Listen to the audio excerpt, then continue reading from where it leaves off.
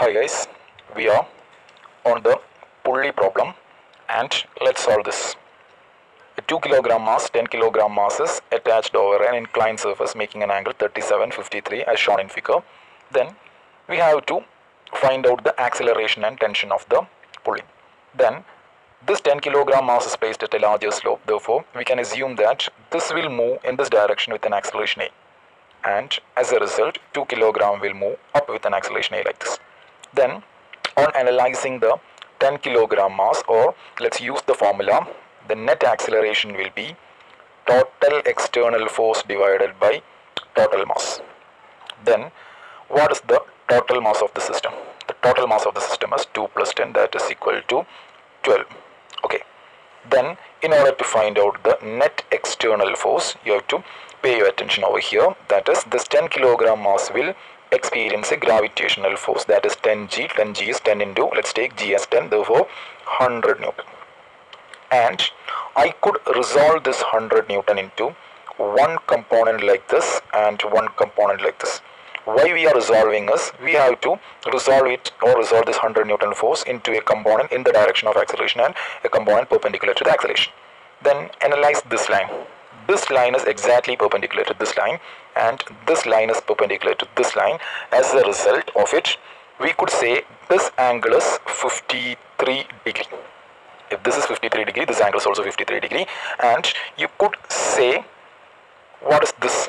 This will be 100 cos 53 and this will be 100 sin 53 clear? Then in order to find out the sine 53 value we will have to study a triangle. Can I draw over here? That is I'm drawing a right angle triangle and this right angle triangle is in such a way so that this angle is 90 degree. Let's take this angle as our 53 degree and this is 37 in our IIT JEE question. We'll call this as magic triangle. Okay.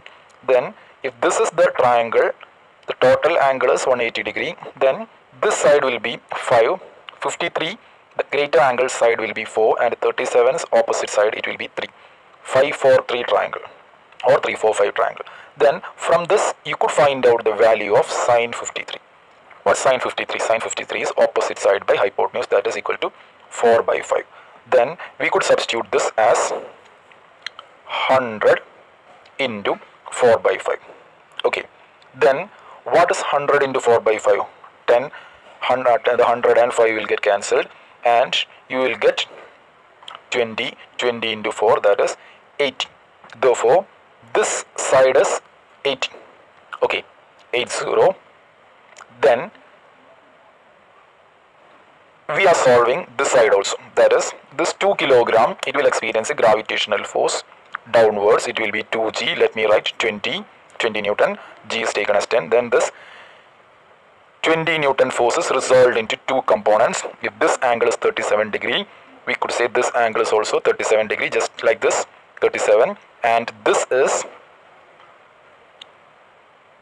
20 sine 37 coming back to our magic triangle sine 37 what's the value of sine 37 3 by 5 sine 37 is 3 by 5 then it will become 20 into 3 by 5 then the final answer in this case will be 5 and 20 4 4 3s are 12 therefore this side is 12 then we were finding out these two values for the net external force. Then what is net external force? Net external force we'll remember the component of force or the force which is in the direction of acceleration it is taken as positive. Therefore 80 in the direction of acceleration it is 80 then the force which is in the opposite direction of acceleration it should be taken as negative.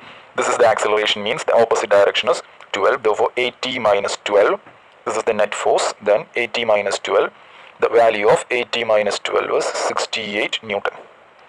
Then we'll substitute in this formula. We'll get the answer. That is the net acceleration is equal to what's the net external force? 68 divided by the total mass is 12 68 divided by 12 the net acceleration you will get 68 by 12 and cancelling out we will get it as um, 17 by 3 therefore the net acceleration in this case is 17 by 3 meter per second square. This is the acceleration and now we have to find out the tension. In order to find out tension, this is a single string therefore the tension over here it will be like this. The tension over here it will be like this. The tension will be same in magnitude. And if I am taking the free body diagram from this particular case what we could say is net force is 2a 2 kilogram mass is moving with an acceleration a therefore net force is 2a 2a is equal to greater force minus smaller force that is t minus 12 t minus 12 because this force is tension this force the tension opposite force is 12 and why I am writing t minus 12 is the acceleration is in this direction therefore tension is greater than 12 newton. Therefore 2a is equal to t minus 12 then we will get 2 into a. What's a? A is 17 by 3 is equal to t minus 12 then t is equal to 12 plus 2 into 17 by 3 and the final answer if you are simplifying it you will get I think t is equal to 7d by 3 okay. This is how we are solving it. Or for a better understanding if we are taking this diagram then we could write the equation that is 10a is the net force that should be equal to should I write t minus 80 or 80 minus t? In this case 80 is greater the acceleration is in this direction therefore 80 minus t.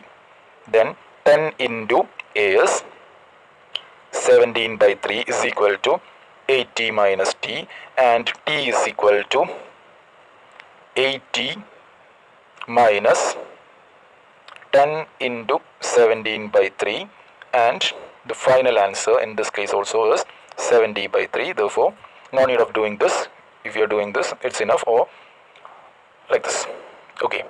And this is how we are solving a complicated pulley problem